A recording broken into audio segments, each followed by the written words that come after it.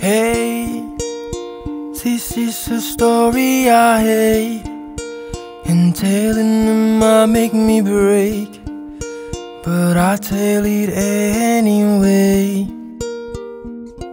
This chapter's about how you said there was nobody else.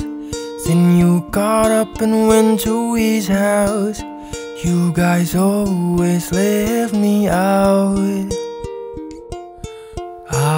I still have the letter you wrote when you told me that I was the only guy you'd ever want in your life. I guess my friends were right. Each day goes by and each night I cry. Somebody saw you with him last night. You gave me your word, don't worry about it. You might love him now, but you loved me first. Said you never hurt me, but here we are. Oh, you swore from every star. How could you be so reckless? with my heart.